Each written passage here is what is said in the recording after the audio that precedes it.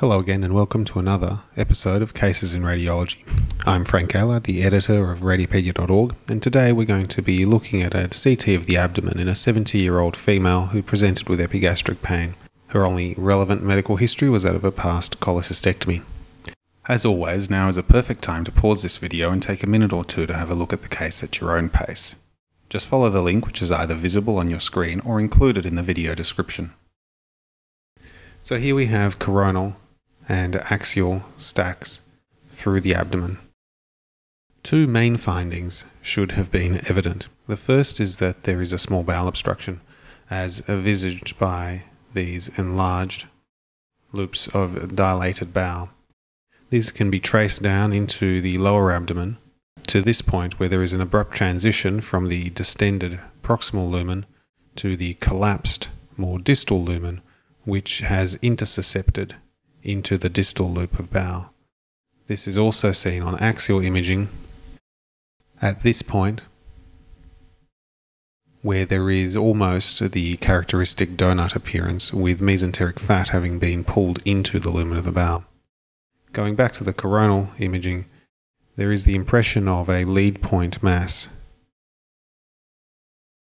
The other notable finding is of bilateral very large adrenal masses, larger on the right, these appear essentially necrotic or cystic. There are numerous lymph nodes scattered throughout the mesentery, which appear enlarged, but no other solid masses are identified. Incidental findings include a large simple renal cyst on the right. The first question you should ask yourself is whether or not the bilateral adrenal masses and the small bowel intussusception are related. Let's first talk about intussusception. Intussusception is where one part of the bowel gets sucked into the more distal bowel and is further advanced by the action of peristalsis. In children, this is most often idiopathic without an underlying cause identified, well, certainly not an underlying pathological cause. It's most often attributed to prominent lymphoid tissue in the submucosa. In adults, however, a lead point is usually identified, and in most instances, it is that of a malignancy. In the large bowel, it is of a colorectal carcinoma, which is by far the most common.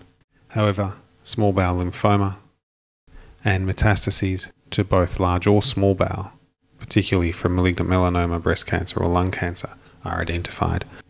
A number of benign neoplasms are also encountered, as are some congenital abnormalities, although these would be unlikely to first present in a 70 year old. Inflammatory and uh, trauma has also been reported, but is unlikely. Let's turn our attention to the adrenal glands. By far the most common cause of bilateral adrenal masses is that of metastases. And the primary tumours to consider are those of lung cancer, breast cancer, renal cancer, which is not evident in this case, gastrointestinal malignancies, malignant melanoma, and lymphoma. It is also worth considering primary tumours, although most often these are unilateral. Pheochromocytomas, for example, are encountered bilaterally in up to 10% of patients, whether this uh, represents metastatic disease to the contralateral adrenal gland or synchronous tumours is debatable. Going back to this case, we are left with four options. The first is that the small bowel mass and the bilateral large adrenal masses are unrelated and that the adrenal masses were merely incidentally found due to the presentation of a small bowel obstruction.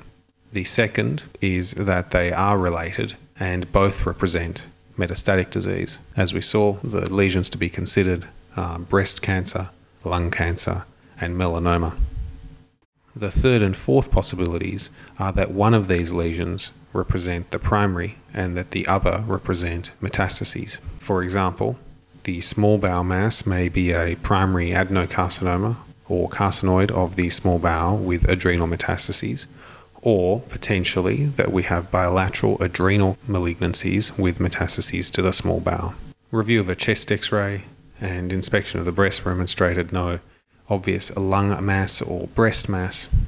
Further questioning of the patient did, however, reveal that seven years ago she had had a malignant melanoma excised from her back. The patient went on to a laparotomy and had uh, the small bowel intussusception resected and the adrenal glands biopsied. Malignant melanoma was the diagnosis in both instances.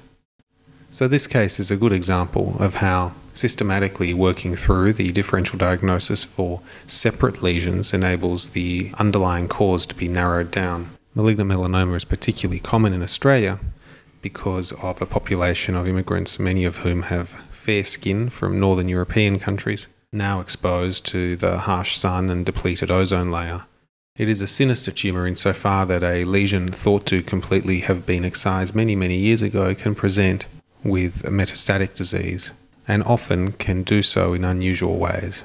It is one of the classic tumours to metastasize to small bowel and should be thought of high on the list when such a presentation is encountered. Hope to see you again next time. Take care.